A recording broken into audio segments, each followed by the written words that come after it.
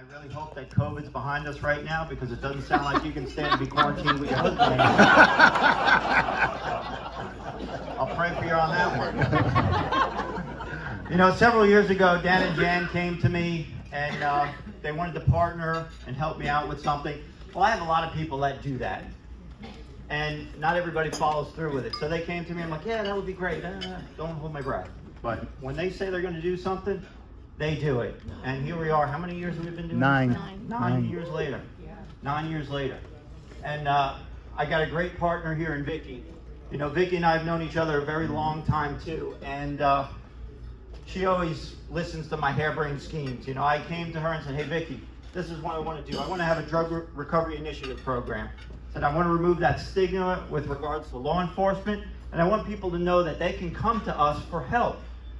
So if they are suffering from addiction and they want help, they choose to have help, to get help, that they can walk up to any one of my deputies on the street, they can call us to their location, they can walk into any one of my substations, and they can say, Here, hand over their drugs and say, I want help.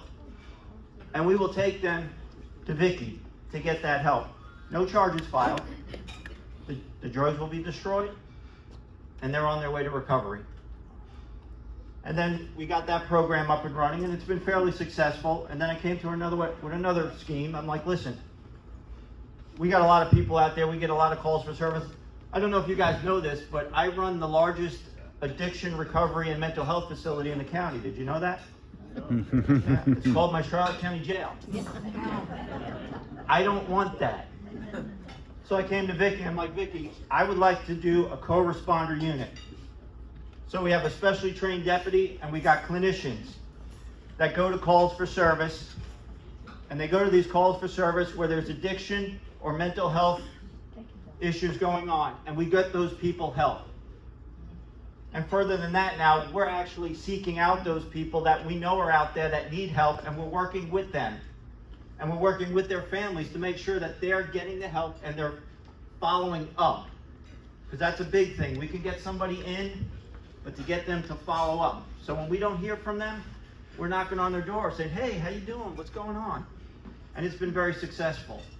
And our Iris team is going to be expanded even bigger here in the very near future.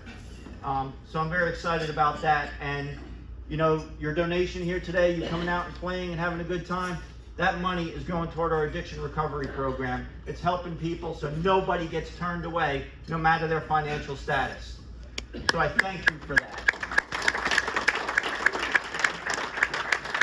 So I'll turn it over to Vickie now.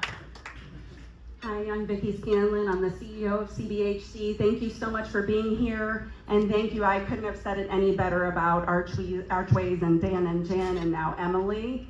And all of us over the past several years have been through either some big T or little t trauma, right? Yeah. Amanda spoke of it, and this has really affected our patients the most. And that's why the Archways funding is so important in that we're able to take folks who need services the most and give them those services. And so hats off to all of you. Give yourself a hand for being here today. Because in reality, all of you are also cleaning up your messes and dealing with your own struggles right now, post COVID and post Ian. And so we have a very generous community. We're extremely grateful and we don't take that for granted. So thank you again. And um, it's truly an honor to work alongside you guys. Perfect.